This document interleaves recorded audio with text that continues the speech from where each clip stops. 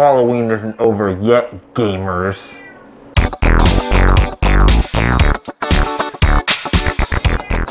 Welcome back everybody to Halloween Grub. The last one took a little bit of time so I decided to do kind of an easy one this time.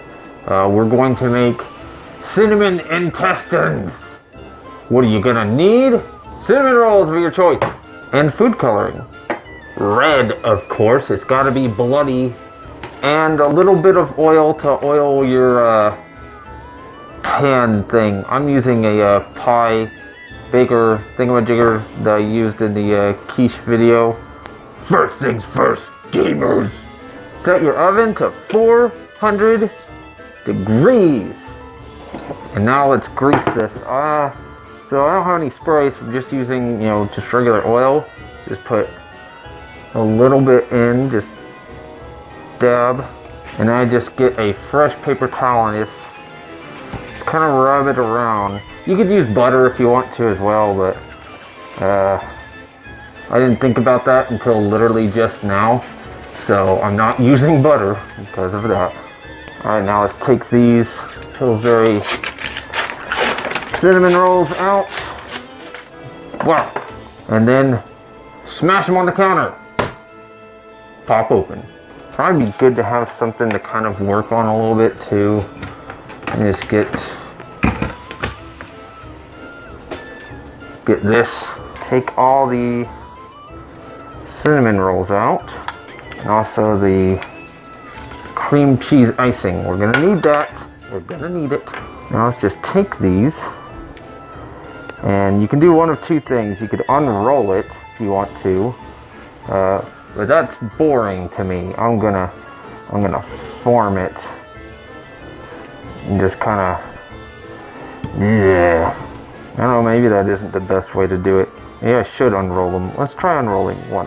How do you, oh, I screwed this up. I don't think unrolling it is the right way for me to do it just because, uh, well, just being stupid. Throw them in there. Oh, there we go. That one kind of unrolled. That one kind of, yeah, there we go. There we go. Yeah, just unroll them. Just unroll them. Unroll them. Don't, don't squish them and everything like I did.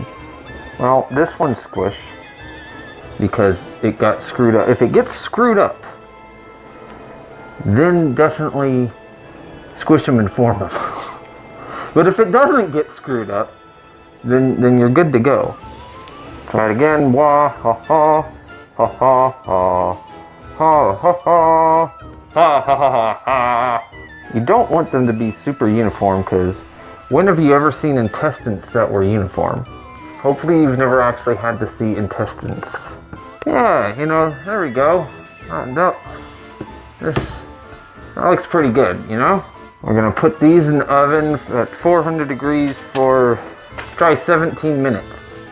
On!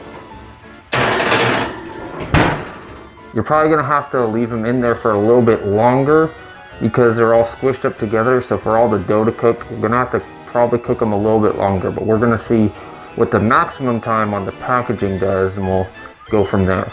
While we're waiting on that, let's go ahead and get our blood going. Blood. Take the lid off, get a little bit of this food coloring and just, I don't know, like maybe two drops? I don't know, I don't really work with food coloring at all. Let's just get a chopstick, I guess, and just stir it up. Well, that made pink, so let's, let's do a little bit more, maybe two more and see. I mean, I guess do it the color you want. If you want to do it, you want to do it pink, go ahead and do it pink. I want blood in this case, so that's still pink. That looks more like a rose than it does than it does blood. Let's. Oh God, that's gonna be too much. I bet. My God, that's still not enough. How much food coloring do you need? I think that's pretty close. What do y'all think? That's, that's pretty close. Ah, screw it. Let's let's go for gold. Oops. Well, this thing is going to be stained forever now. Oh, yeah, there we go. Now that kind of, kind of looks like blood right there. So we'll go with that. That's like, I don't know, 20 friggin' drops. Hopefully this comes off this cutting board. Uh, it does not. Oh well. Okay, let's see here. I mean, they definitely look like, uh, definitely look like they're done. So, uh, I'm gonna say they're done. Okay, now all we gotta do is just gotta, like, drizzle this on top. Man, I should have put more food coloring in. This looks more like, this looks more like a patriotic 4th of July, uh, friggin' cinnamon rolls. Oh well, well y'all get the point though, right? Oh, look at that. I don't know if y'all can see that. So, the icing's falling to the bottom and everything, right? And it's bubbling down there. It's turning a darker red, actually. Uh, that's friggin' cool. Hope it's not like releasing gases that are gonna kill me or anything like that. That wouldn't, that wouldn't be good. You know, actually, as it's heating up, it really is getting to be like a darker red. All right, that's all the icing. I guess let's uh, get a knife or something and try to spread this out some, I guess? I don't know. Maybe a spoon would work better, actually. Yeah, I definitely think spoon is working a little bit better because I'm able to get like this, it's like this little pool right here, and I think it's able to just get it a little bit better. Yeah, there we go. See, it looks, it does. No, it looks like friggin' intestines, and that's friggin' cool. I love crap like this. I absolutely love it. And how does it taste? Well, I mean, it tastes like cinnamon rolls. If you haven't had Pillsbury cinnamon rolls, I mean, come on, it doesn't taste any different. It just looks cool, okay? It looks cool. It is great for, you know, all the Halloween parties that you shouldn't be having right now. That's all I got for y'all today. Thanks for watching, everyone. I truly do appreciate it.